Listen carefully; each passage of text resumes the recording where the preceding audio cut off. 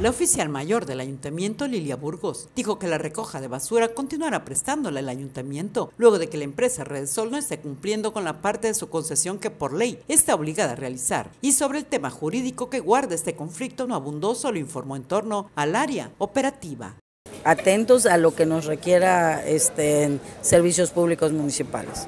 La basura es un derecho constitucional y tenemos que otorgarlo llegar a dar el servicio, ¿tiene que presentarse a servicios públicos? Sí, claro, no, claro, claro. Nosotros ya este, dimos todas las garantías para que se, la empresa se presente a, a prestar el servicio. ¿Todavía está en tiempo?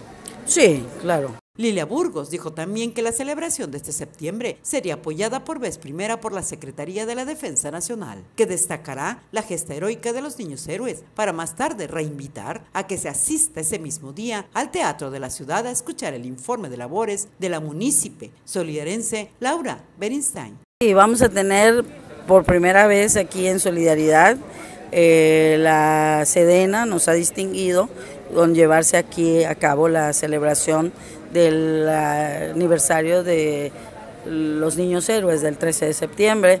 Luego en la noche tenemos el primer informe de gobierno. ¿Qué se va a realizar? En el Teatro de la Ciudad a las 7 de la noche. Este, luego el día 14 tenemos el evento de béisbol, es un evento internacional con el lanzamiento de la primera de la primera ¿cómo se dice? bola. Este y de manera posterior, el día 15, pues tenemos eh, la celebración del grito, que va a ser una verbena familiar, tenemos lucha libre, tenemos carrera de neón, tenemos espectáculo, ¿sí? Y finalmente, pues con el solemne eh, desfile del 16 de septiembre. Palabras más, palabras menos. Se espera en Playa del Carmen, afirmó la funcionaria, unas fabulosas fiestas patrias. Desde Playa del Carmen para Notivisión, Lourdes Mata.